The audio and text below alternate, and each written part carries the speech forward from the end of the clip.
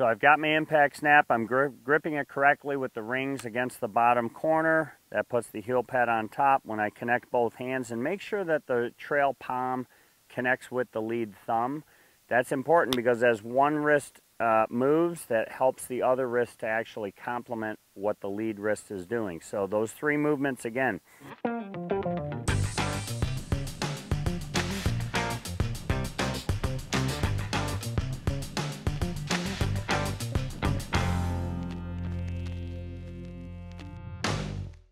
Forward motion. That gets the left wrist or lead wrist to uncock or ulnar deviate. And it gets it to flex slightly, flexion or bowing. And it gets it to supinate, or that's the counterclockwise rotation as I'm looking at it. All three of those moves combine to get the ball to hit the bottom of the forearm.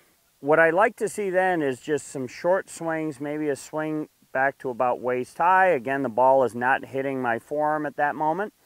And then as I swing toward impact, the lead uh, wrist will go through those three motions and the ball will strike the bottom of the trail forearm. All too often I see uh, people that, that are trying to use our product, they twist or turn their entire body to, to try and get the ball to hit. And that's really not what happens. So if you're filming yourself doing this, just swing the forearms forward and frequently I'll have my students say, geez, that feels, un, you know, feels so different or, or awkward or whatnot. But then I show them a picture of, you know, Dustin Johnson or Jon Rahm or Tiger Woods hitting a stinger and magically they look alike. So Short swings, waist high to waist high, get the feel the ball striking the bottom of the trail forearm.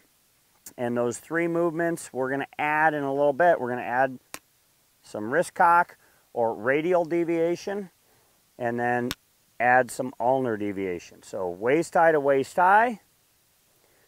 Feel the wrist, how it moves up and down a little bit. Feel a little bowing or flexion. And then if we supinate slightly, the ball hits the bottom of the trail forearm. The importance of the grip, the importance of impact and post-impact, and in the next video we're going to transition into a bigger swing. I'm Marty Nowicki for Impact Snap. I hope this video helped you.